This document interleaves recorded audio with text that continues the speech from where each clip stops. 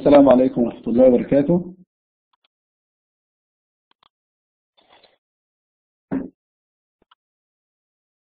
السلام عليكم ورحمة الله.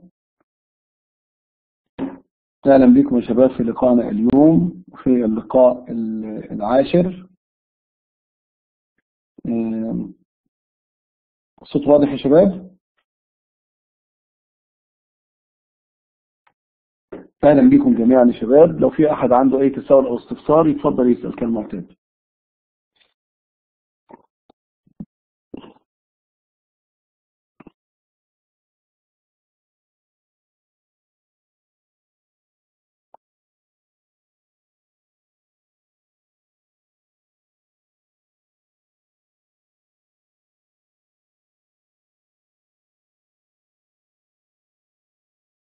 في تساؤل أو استفسار يا شباب؟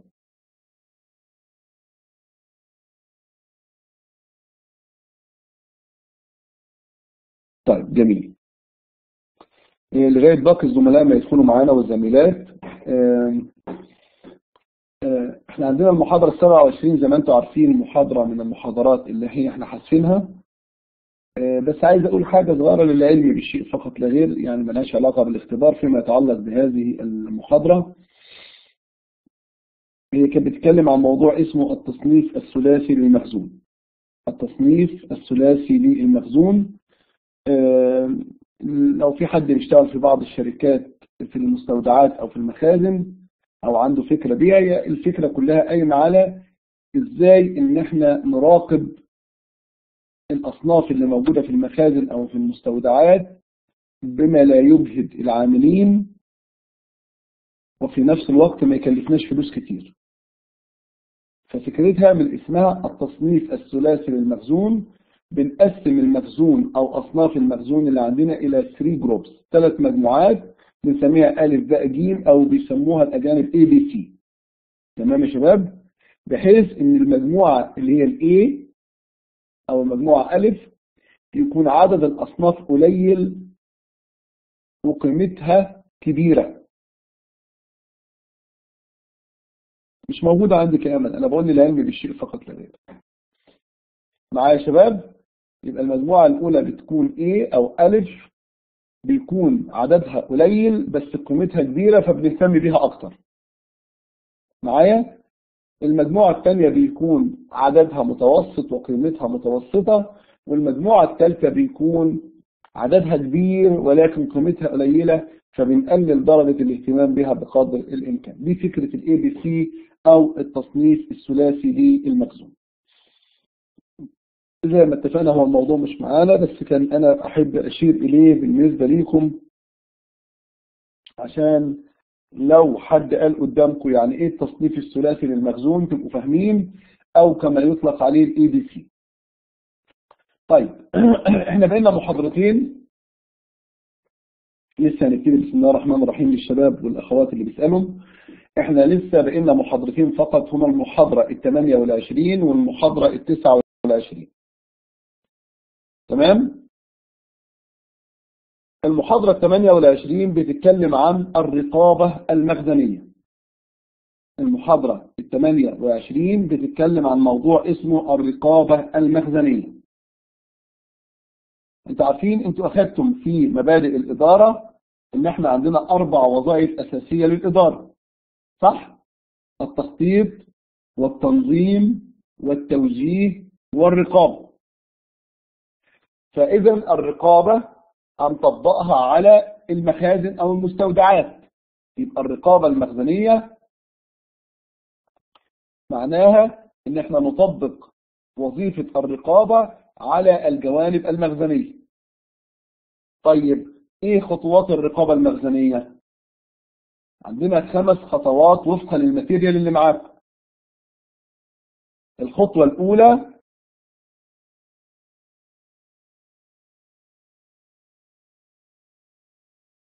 وضع معايير للأداء المخزني.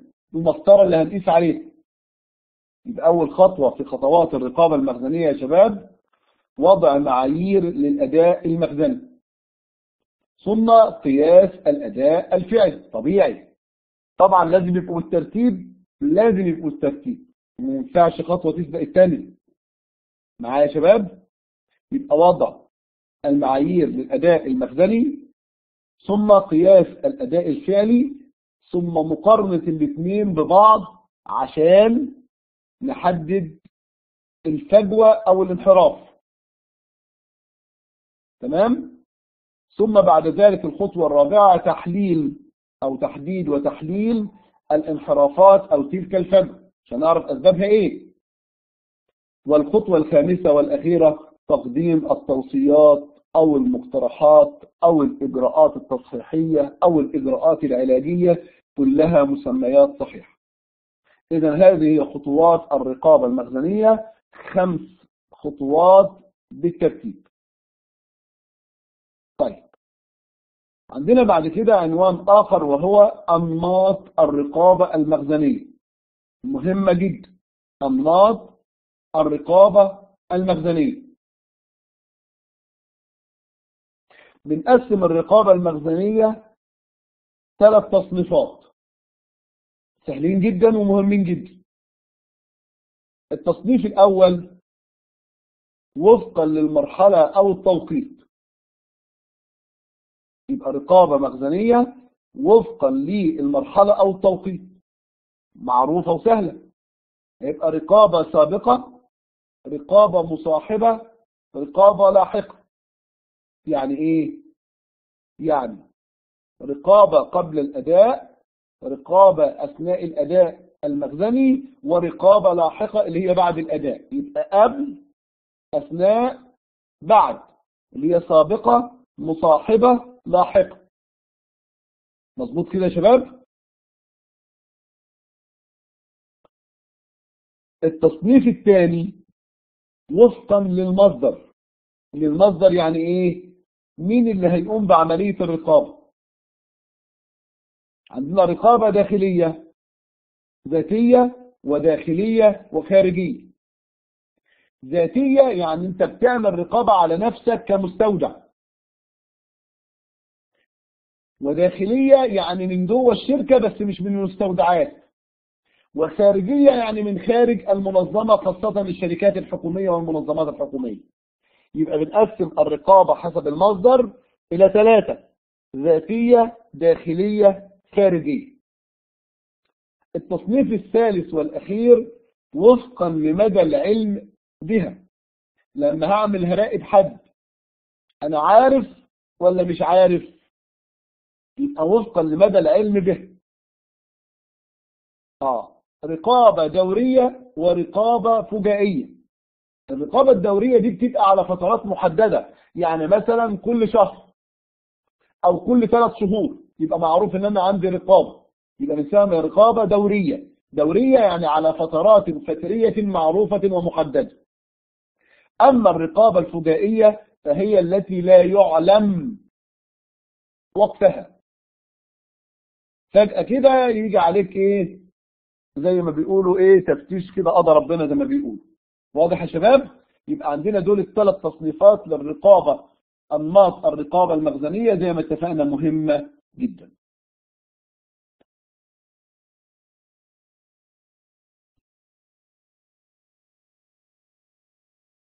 عندنا تقارير الرقابة على الأداء في المستودعات أو في المخازن.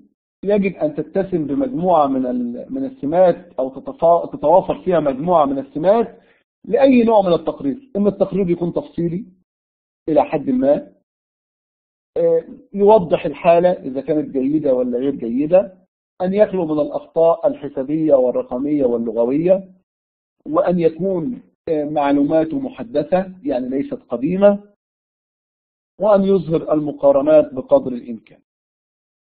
طيب. عندنا بعد كده يا شباب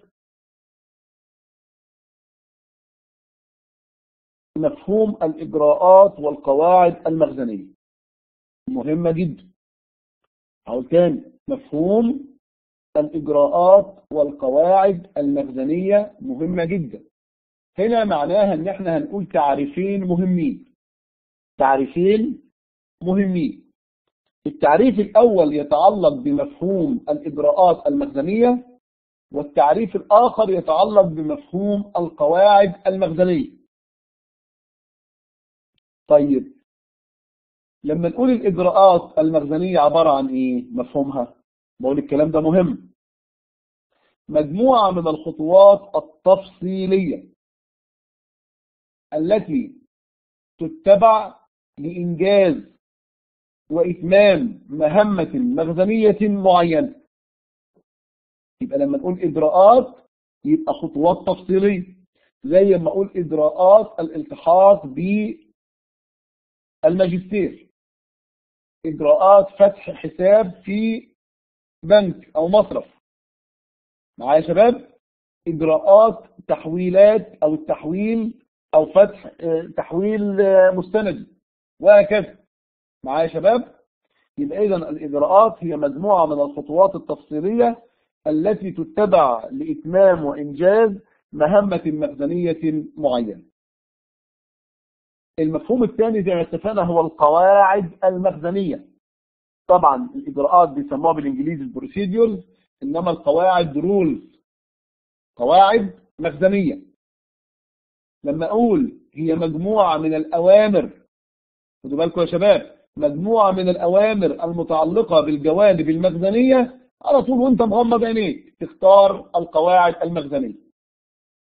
يبقى لما نقول أوامر يبقى قواعد ولما نقول خطوات تفصيلية تبقى إجراءات. آه مفيش أسهل من كده.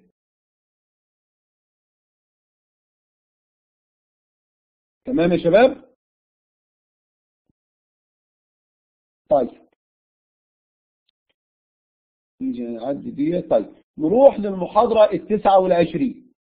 المحاضرة التسعة وعشرين أنا بعدي بعض الحاجات كده بفوتها. ما أعرفش عندكم في الماتيريال اللي معاكم ولا لأ إنما في بعض الحاجات البسيطة كده بنعديها. تمام يا شباب؟ عشان نخفف عنكم شوية الجانب النظر المحاضرة التسعة والعشرين بعنوان الجرد. بعنوان إيه يا شباب؟ الجرد. بنقول إن إحنا عندنا ثلاث أنواع من الجرد طبعا مهمين جدا. ثلاث أنواع من الجرد مهمين جدا. أول حاجة الجرد الجزئي وثاني حاجة الجرد الكلي وثالث حاجة اسمها الجرد المستمر. يبقى عندنا كلي وجزئي ومستمر. تمام؟ آه. طبعا من اسمهم لازم أنا مش عايزك تحفظ زي ما اتفقنا. عايزك تفهم. هو ذلك النمط الشائع والمعروف في معظم المنظمات ويتم مرة واحدة في نهاية السنة المالية. يبقى على طول نختار إيه يا شباب؟ الجرد الكلي. صح؟ هقول تاني. استني يا بغي عشان ثواني بس. الدفتري معانا بس أنا هفهمه لك هو مش من ضمن الأنواع ولا حاجة. هو مش رقم أربعة. لا إحنا عندنا ثلاث أنواع من الجرد وبعدين هفهمك الدفتري بعد شوية اصبري بس شوية تمام؟ تاني بنقول عندنا ثلاث أنواع من الجرد. جرد كلي لما أقول النمط الشائع والمعروف في معظم المنظمات ويتم مرة واحدة في نهاية السنة المالية على طول نختار الجرد الكلي. طيب لما نقول هو ذلك الجرد الفجائي الذي يتم دون علم مسبق لدى رجال المستودعات أو المخازن يبقى على طول نختار الجرد الجزئي.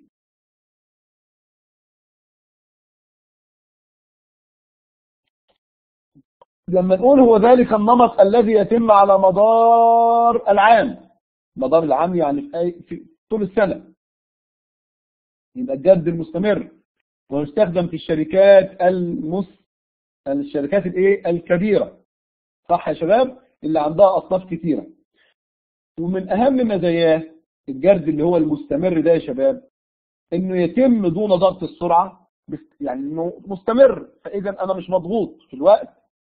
ما بوقفش الشغل في المستودعات أثناء القيام به على عكس الجرد الكلي والجزئي بنوقف الشغل. يعني نوقف الشغل يا شباب؟ يعني نيجي كده نقول إحنا مش مش هنطلع اصناف من عندنا من المستودع. لمدة يومين ولا ثلاثة لغاية ما نعمل الجرد ما هو عشان الدنيا ما ما تخربش مننا. تمام؟ يبقى الجرد المستمر ميزته إنه يتم دون ضغط السرعة لا يتم إيقاف العمل في المستودعات أثناء القيام به. إنما الجرد الكلي والجرد الجزئي بنوقف الصرف لغاية ما نخلص زي ما أحمد ما كتب كده لغاية ما نخلص عملية الجرد. طيب نيجي بعد كده بقى ال ال ال اللي كانت اختكم بتسأل عليها يا بغي اللي هي إيه يا شباب؟ الجرد الدفتري والجرد الفعلي. الجرد الدفتري والجرد الفعلي. الجرد الدفتري معناها اللي بيتم على الورق. زي ما بتاخدوا في المحاسبة. مش أنتوا في المحاسبة يا شباب أو في المشت... معايا؟ مش موجود عندنا في الجزء ده. في المحاسبة لما بتيجوا تيجوا حاجة تعملوا حاجة اسمها الرصيد الفعلي. الرصيد الفعلي معناها إيه؟ أنا صرفت قد... أنا جالي قد إيه؟ وكان رصيد أول المدة قد إيه؟ ورصيد آخر المدة قد إيه؟ يبقى هو ده الجرد الفعلي. معايا يا شباب؟ يبقى عندي سوري آسف الجرد الدفتري. الفعلي إن أنا أدخل المستودع وأعد الأصناف اللي موجودة بالفعل. يبقى الجرد الدفتري اللي بيتم على الورق أو على الكمبيوتر. معايا يا شباب؟ إنما الفعلي هو اللي بيتم على أرض الواقع. ما كلمه الدفتري جاية من الدفاتر. زي ما أحمد ما قال. معايا يا شباب؟ يبقى عندنا يمكن تصنيف الجرد إلى فعلي ودفتري. الفعلي هو اللي بيتم على أرض الواقع والدفتري هو اللي بيتم على المستندات أو الدفاتر أو الأوراق أو على الكمبيوتر. معايا يا شباب؟ يبقى إحنا عندنا ثلاث أنواع من الجرد. جرد كلي جرد جزئي جرد مستمر. التصنيف الآخر ده يعتبر على فكرة الثلاث أنواع يعتبروا فعلي. التصنيف اللي إحنا بنقسمه إلى دفتري وفعلي. طيب. مزايا الجرد إيه يا شباب؟ مزايا الجرد إيه؟ أنا عايز أشوف الأرصدة اللي عندي في الدفتر. زي الارصدة الفعلية ولا لا؟ ببساطة شديدة جدا عايز أشوف الناس اللي عندي في المخازن أو في المستودعات لا قدر الله حرامية ولا لا. صح كده؟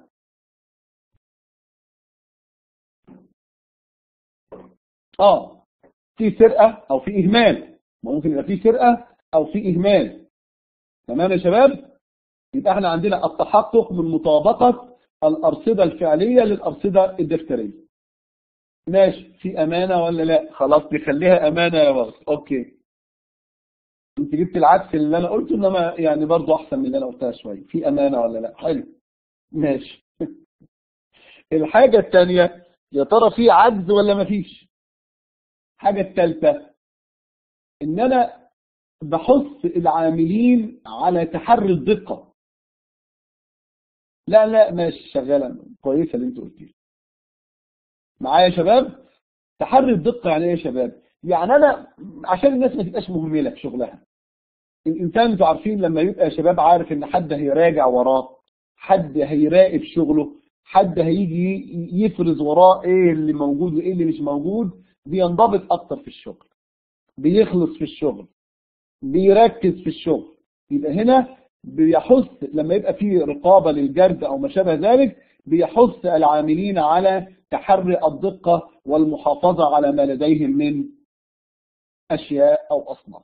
طبعا لو إحنا بنتكلم عن الناحية الإسلامية زي ما أنتم عارفين زي ما أختكم كانت بتقول من شوية الأمانة وما يتعلق بالمسؤولية و وألا كلكم راع وكلكم مسؤول عن رعيته يعني مفترض إن أي إنسان يجب إن هو يكون أمين في عمله ويراعي الله سبحانه وتعالى بقدر الإمكان في عملية الشغل بتاعه.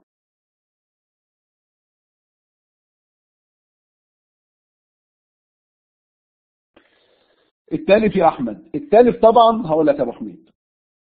التالف يا أحمد لازم ما إحنا لما هنعرف لما هنعمل عملية الجرد هتظهر لنا بعض الإيه؟ بعض الأصناف التالفة صح؟ الأصناف التالفة دي لازم نشوف أسباب هذا التلف. ما إحنا هنحلل. أنت عارفين زي ما اتفقنا عملية الرقابة المخزنية لازم نشوف يا ترى إيه الأسباب التي أدت إلى وجود هذا التلف. إذا كانت الأسباب تتعلق بالإهمال من قبل العاملين في المستودعات فلا بد أن يتم توقيع العقاب والجزاء المناسب عليه طب إذا كان التلف راجع لأسباب تخرج عن سيطرة العاملين يعني أمطار جت فجأة. معايا؟ آه سيول. آه عدم آه جوانب تتعلق دي أنا مش خارج out of control زي ما الأجانب بيسموها يا أحمد. معايا؟ سوء التهوية. سوء عملية التخزين بسبب إمكانات مادية أنا ما أقدرش أنا أتحكم فيها كعامل. إنما أقدر إن أنا أطلب أطلب عملية أطلب توفير بيئة بيئة تخزينية جيدة أو بسبب سوء النقل زي ما البعض بيقول تمام؟ إذا في كل الأحوال عندما يكون هناك فاقد أو تالف لابد أن نحلل الأسباب. إما أسباب ترجع إلى العاملين يتم معاقبتهم أو أسباب تخرج عن سيطرة العاملين وبالتالي لابد أن نحللها ونعالج تلك الأسباب في المستقبل. طيب.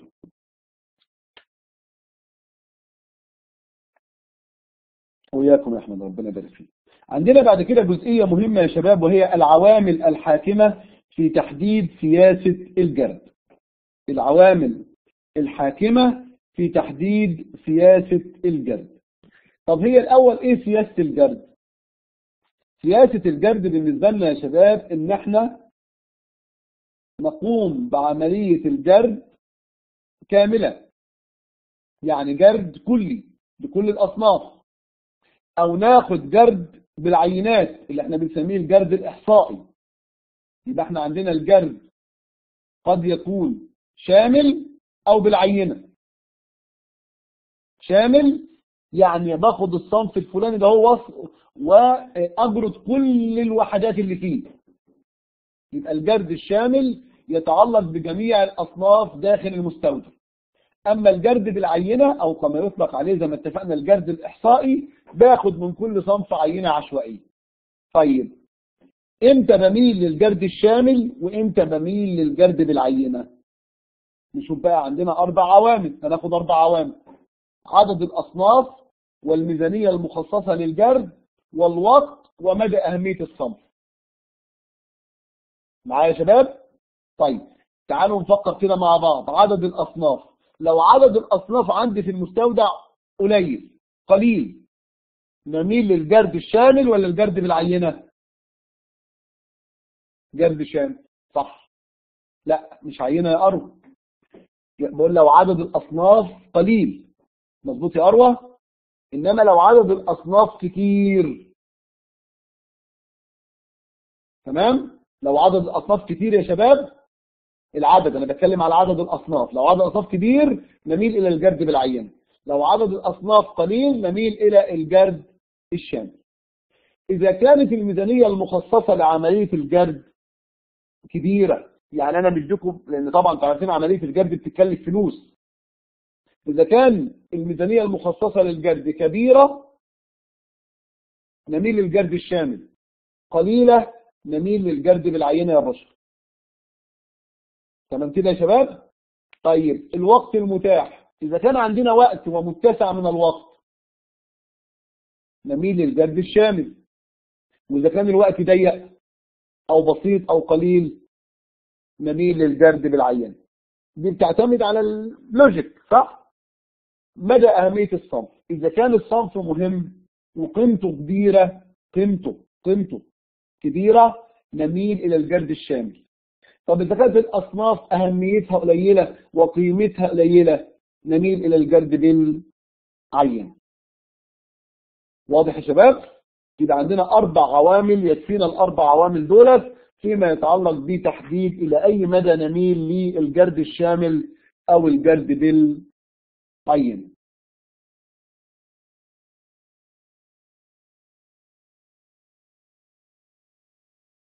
طبعا أحيانا بتحصل أسباب وجود فروقات يعني يعني يعني ممكن يا شباب إيه؟ إذا عدد الأصناف قليلة يا, يا عدد الأصناف نميل الجرد الشامل على طول يا بشر. فكري فيها. معايا؟ لا لو عدد الأصناف قليلة العدد. يعني أنت عندك ثلاث أربع أصناف اللي بتتعاملي معاهم. معايا؟ تقدر تعملي جرد شامل بس برضه يا ترى كل صنف كميته قد إيه؟ خدي بالك. هي القضية مش قضية عدد أصناف قليلة بس بس يا ترى الكمية من كل صنف قد إيه؟ طبعا كل شركة بتوائم الأمور آه آه. تمام. كل كل شركة يا شباب بتوائم الأمور على حسب ظروفها وزي ما اتفقنا على حسب الناس اللي هتعمل الجرد قد إيه والميزانية قد إيه والوقت قد إيه. وإحنا بنعمل أساسا الجرد ليه؟ في أسباب كتير وبالتالي إحنا ما دخلناش في التفاصيل التفاصيل بتاعتها. طيب عندنا في أسباب لوجود فروقات. يعني إيه فروقات يا شباب؟ يعني اختلاف ما بين الجرد الدفتري والجرد الفعلي. إيه الأسباب اللي قد تؤدي إلى وجود اختلاف ما بين الأرقام اللي موجودة في الدفاتر والأرقام اللي موجودة في المستودع. اللي إحنا بنسميها الفعلية. أول حاجة تأثير العوامل الطبيعية. صح. ليه؟ لأن العوامل الطبيعية بتكون مرتبطة ببعض الأصناف يا أروى. يعني مثلا في بعض الأصناف ربما يحصل لها نوع من التبخر فيقل وزنها؟ صح كده؟ أو يحصل لها نوع من الجفاف. تمام؟ أو يحصل لها نوع من التسرب. الأرض تشربها لبعض البترول وما شابه ذلك وبعض ال الأشياء البترولية. ممكن الأرض تمتص لو مش متخزنة مظبوط تمتص جزء منها. وهكذا. طيب. ممكن بسبب التلف. ماشي. أو التلف يا بغل تمشي معانا. ممكن يحصل الأخطاء بسبب التسجيل في البطاقات. يعني إيه؟ يعني أنا جالي مثلا 1000 وحدة من صنف معين. بدل ما أسجلهم 1000 سجلتهم 10000 صح كده؟ مش أحيانا بتحصل أخطاء بشرية يبقى أخطاء في عملية التسجيل. طلعت النهارده من عندي 100 وحدة و200 و300 وبعدين مش عارف 100 فبقوا 700 لما طلعتهم على الدفاتر كتبتهم 500 بس. يبقى في أخطاء في عملية الدخول الأخطاء في عملية التسجيل.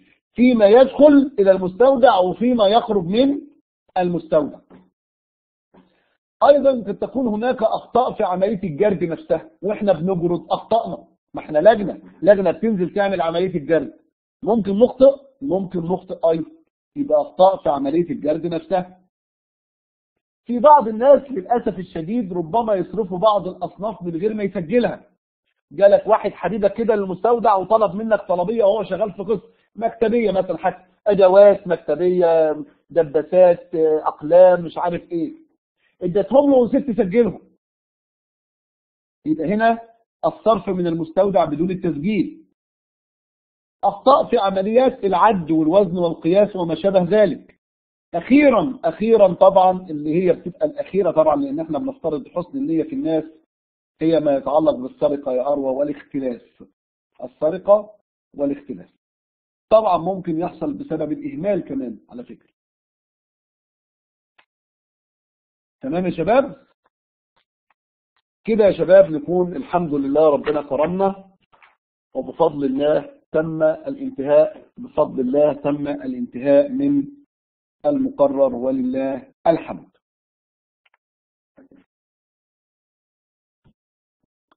معايا يا شباب؟ كده خلصنا شرح المقرر تماما الحمد لله رب العالمين. آه لو حد عنده أي تساؤل أو استفسار يا شباب يتفضل يسأل.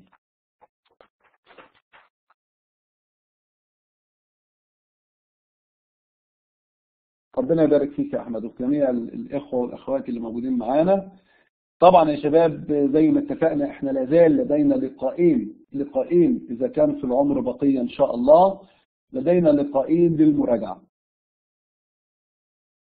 هناخد كل حاجة يا منى مش كوزات ولا حاجة إحنا هنحل مع بعض إن شاء الله في اللقاء المراجعة. كيف تكلفة التخزين ما فهمتش يا شفاء السؤال ولكن أنت قصدك في العملي؟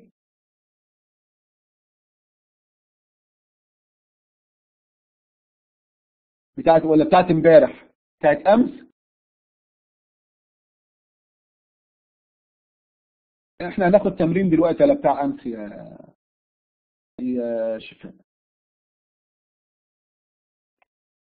آه بمسائل المادة التكلفة الإجمالية ما ده يا أحمد. بص يا أحمد ما زي ما اتفقنا في بعض الأسئلة يا أحمد.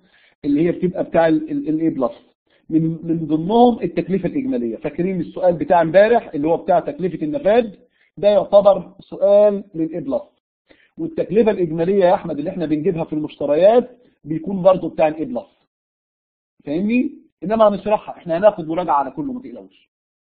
طيب تعالوا نتفق الأول على شكل المراجعة. شباب تعالوا نتفق على شكل المراجعة. الأول إحنا لنا لقاءين للمراجعة. خلينا أقول لكم كده ناخد معايا يا شباب ناخد لقاء للجزء بتاع المشتريات والتمارين بتاعته. طب اسمعيني يا كريمة الأول.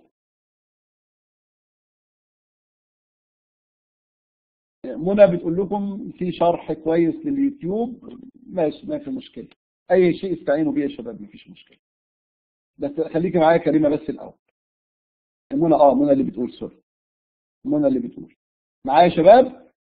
خلينا نقسم المراجعة على مرتين زي ما اتفقنا. يوم ناخد المشتريات نعرج على النظري المهم اللي فيه عناوين كده بسرعة وناخد العمل بتاع المشتريات. ويوم تاني يعني لغاية المحاضرة هتبقى رقم من المحاضرة الأولى لغاية المحاضرة رقم كام؟ 15 15 أعتقد يعني. من من واحد ل 15 تمام كده؟ واليوم الثاني في المراجعة ناخد الجزء بتاع المخازن والمستودعات ومراقبة المخزون اللي هو ابتداء من المحاضرة ال 17 لغاية المحاضرة الأخيرة بتاعت النهاردة اللي هي 29 نظري وعملي. نظري وعملي. يبقى إحنا متفقين كده؟ مرتين المراجعة. حلو. طيب خلصنا من الجزئية الأولانية. الجزئية الثانية اللي عايزين نتفق عليها. الجزئية الثانية اللي عايزين نتفق عليها.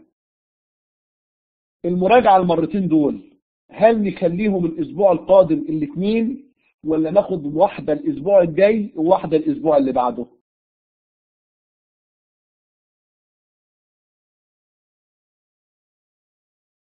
نراجع المقرر كله. الأسبوع اللي جاي الاثنين الأسبوع اللي جاي ولا واحدة وواحدة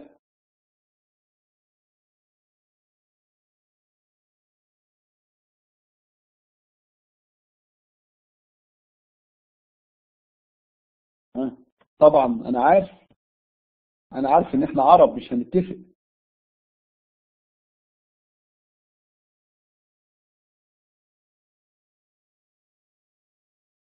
طيب. لو أنتوا عايزين لو أنتوا عايزين رأيي لو أنتوا عايزين رأيي معايا يا شباب؟ لو أنتوا عايزين رأيي نخليها مرة الأسبوع الجاي ومرة الأسبوع اللي بعده.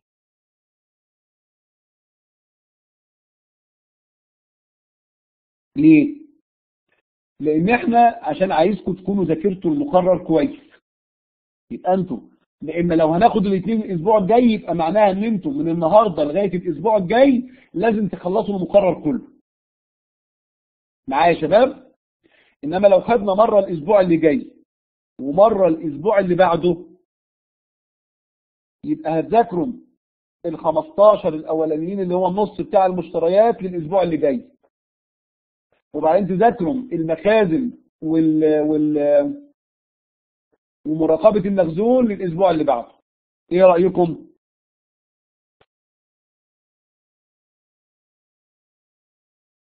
شباب نمتوا ولا إيه؟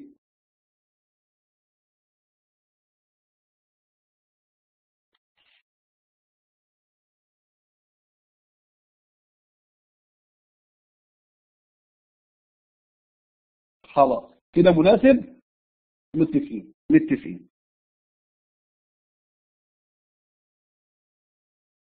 خلاص على بركة. أنا بس عشان عايزين الفايدة يا شباب. أنا مقسمها هنا أنا أنا بالنسبة لي مفيش مشاكل.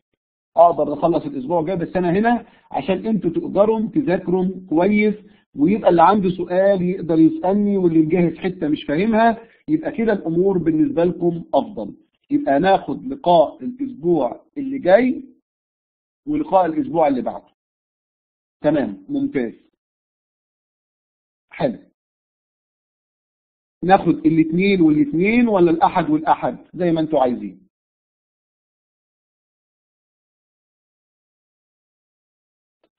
الأحد افضل خلاص مفيش مشكلة. أوكي ممتاز. ناخد الحد القادم والحد اللي بعده. الأحد القادم والأحد اللي بعده وأنا طبعا هنوه ليكم يا شباب في المنتدى زي ما أنتوا عارفين. طب ممتاز.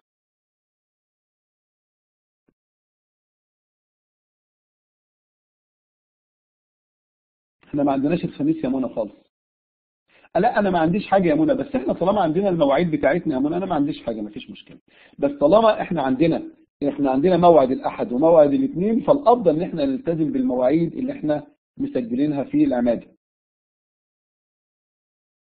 تمام؟ يبقى الأحد والأحد خلاص. ممتاز. يبقى الأحد القادم هناخد الجزء بتاع المشتريات بالكامل نظري وعملي والأحد اللي بعده بمشيئة الله تعالى ناخد الجزء بتاع المخازن نظري وعملي ماشي يا شباب؟ طيب. في بس حد من. من الإخوة والأخوات كان بيسأل على تكلفة التخزين اللي إحنا خدناها امبارح. آه بنفس التوقيت الساعة 9 آه ميعادنا يا أحمد. آه ميعادنا اللي هو الساعة 9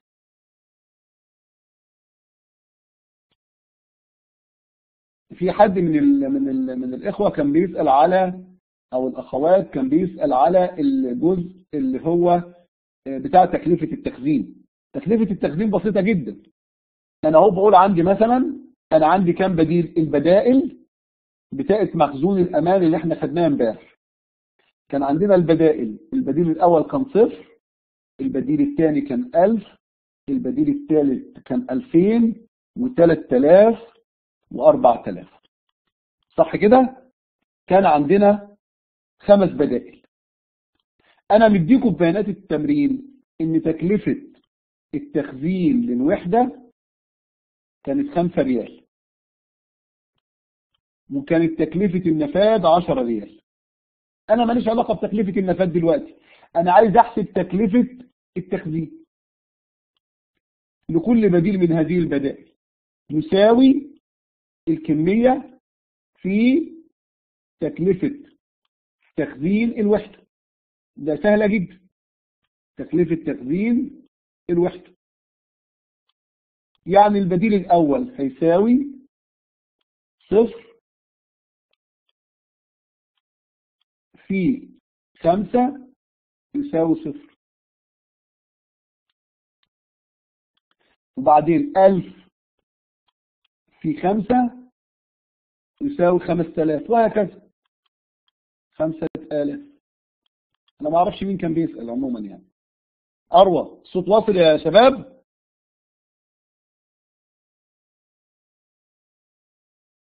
صوت واضح كويس؟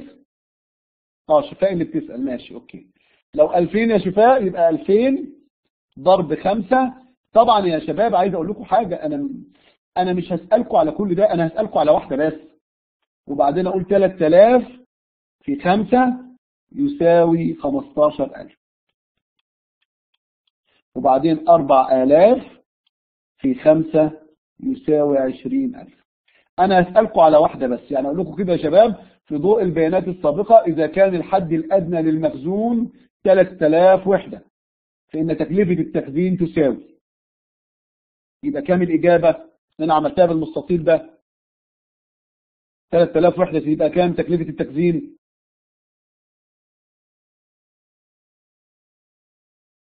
خمستاشر ألف. تمام. معايا يا شباب؟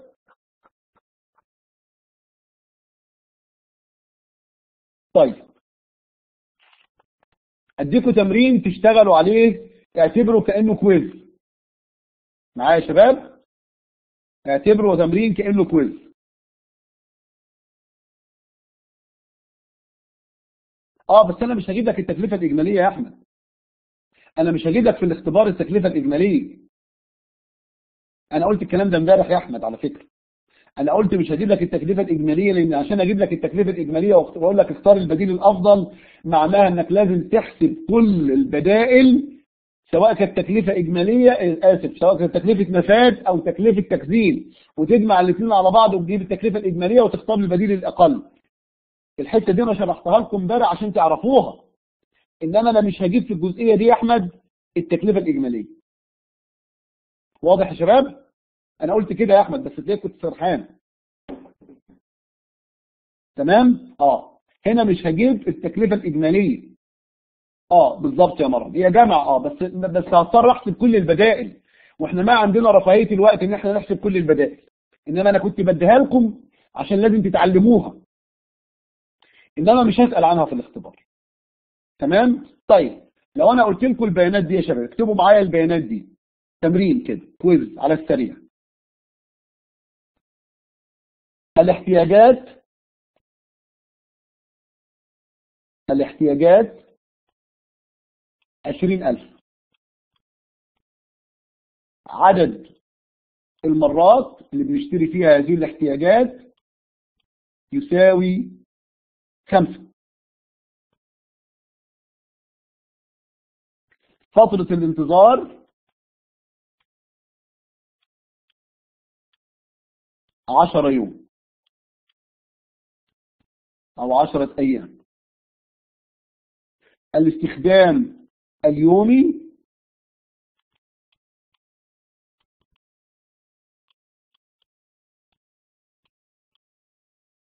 ثلاثمائة وحدة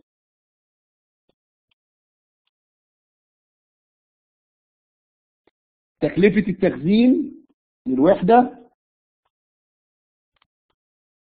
عشرة ريال. تكلفة النفاذ أربعين ريال.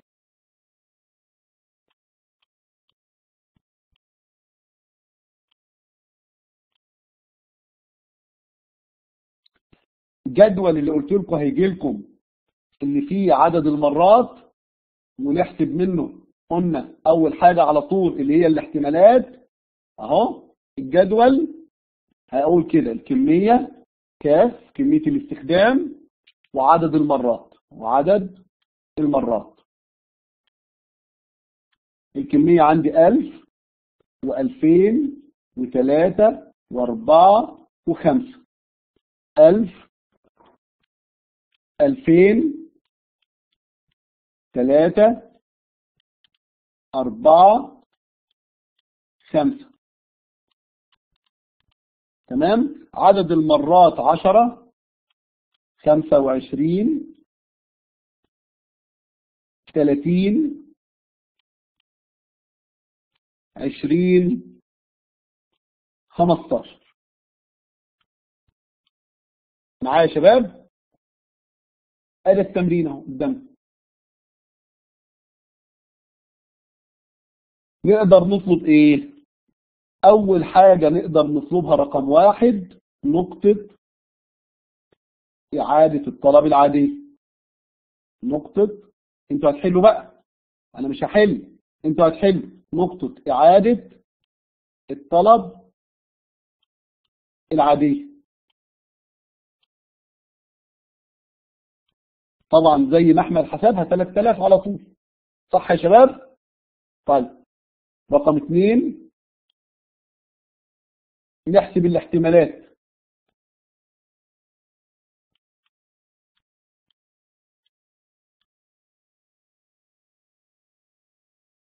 الجدول بيجي كامل زي ما بصوا يا شباب يا شباب الجدول زي بص التمرين زي ما أنتم شايفينه كده. آه تحتاج إحدى الشركات إلى 20000 وحده يتم طلبها على خمس مرات. علما بأن فترة الانتظار 10 أيام والاستخدام اليومي 300 وحدة وتكلفة التخزين تبلغ 10 ريالات للوحدة وتكلفة النفاذ للوحدة تبلغ 40 ريال. ويوضح الجدول الآتي. الجدول ده أنا بديهولك في التمرين. كميات الاستخدام. جاهز. وبعدين أطلب منكم المطالب اللي إحنا اتفقنا عليه نقطة إعادة الطلب العادية. الاحتمالات أنتوا بتحسبوها أنا أطلب منكم احتمال واحد بس أنتوا لازم تحسبوا كل الاحتمالات. معايا يا شباب مش أنا قلت لكم أول ما يجي لكم الجدول تقوموا مزودين صف تحتيه وتحسبوا الجدول على طول؟ تحسبوا الاحتمالات؟ آه كده. نقوم مزودين صف كده أهو يا شباب. أهو راح فين صف كده ونعمل الاحتمال حاء يعني الاحتمال. مجموعهم كام؟ لو جمعنا عدد المرات مجموعها كام يا شباب؟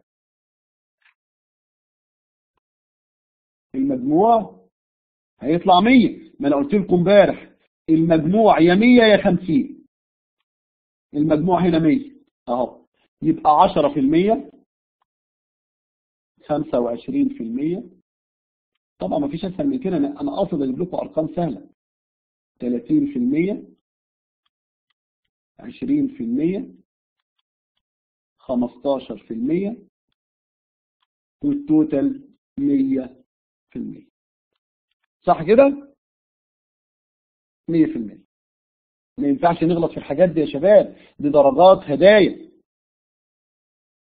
درجات هدايا ما ينفعش نضيعها. يعني نقطة إعادة الطلب لما نحسبها تاخد لها ثانية ولا ثانيتين. الاحتمالات تاخد لها أربع خمس ثواني. صح كده؟ طيب. إحنا حسبنا نقطة إعادة الطلب العادية طلعت 3000 هيبقى سؤال طب عدد بدائل المخزون كام؟ عدد بدائل الحد الأدنى للمخزون كام؟ ثلاثة صح. تتجاوب في فيمتو ثانية صفر وألف وألفين. صح يا شباب؟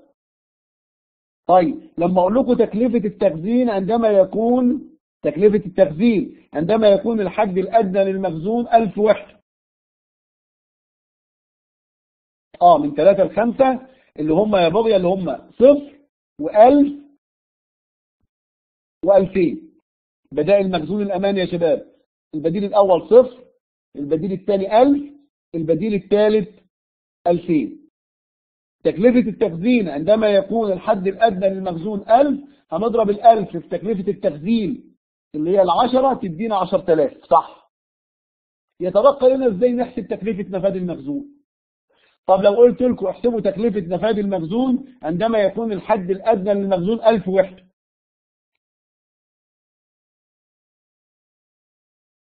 تعرفوا تحسبوها؟ احسبوها وبعدين نبقى نشوفها إن شاء الله. هي سهلة ما فيش فيها حاجة يعني. واضح يا شباب؟ حد عنده أي تساؤل أو استفسار؟ يبقى إحنا خدنا كويز على الهواء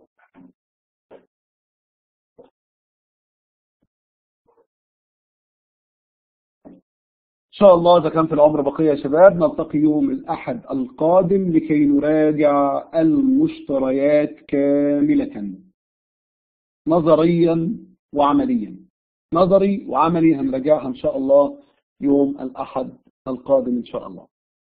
السلام عليكم ورحمة الله وبركاته. نلقاكم على خير يا شباب إن شاء الله. السلام عليكم ورحمة الله وبركاته.